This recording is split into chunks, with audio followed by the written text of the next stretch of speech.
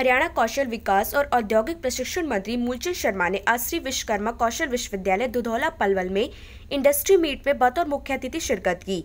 इस अवसर पर पिरथला से विधायक नैनपाल रावत, पलवल विधायक दीपक मंगला ओल्ड फरीदाबाद से विधायक नरेंद्र गुप्ता, श्री विश्वकर्मा कौशल विश्वविद्यालय के कुलपति एवं हरियाणा स्किल डेवलपमेंट मिशन के mission director Raj Nehru, registrar doctor Ritu Bajaj academic dean doctor R S Rathore सहित औद्योगिक इकाइयों के प्रतिनिधि भी मौजूद रहे। तो सारी टीम को बहुत बधाई, बहुत मुबारक। इस तरह 2020 में जो बन के यूनिवर्सिटी होगी एक हरियाणा का नज़र और नज़ारा एक अलग होगा। किस तरह से काम होगा? ये साइन है बच्चों को जो कंपनियों के कईयों के हैं बच्चे वहाँ जाएँगे वहाँ ट्रेनिंग करेंगे दो साल कोई तीन साल जाएँगे बच्चे निकल के आएँगे बड़ी नौकरी वाले इससे बड़ी क्या है कि पढ़ यहाँ से ट्रेनिंग करेंगे वहाँ जाएँगे। इससे बड़े उनको जो काम का जो चाव चार्म होगा आगे बढ़ेंगे इस बात की जो एम करा है सारी कंपनियों में उसको बधाई देता हूँ।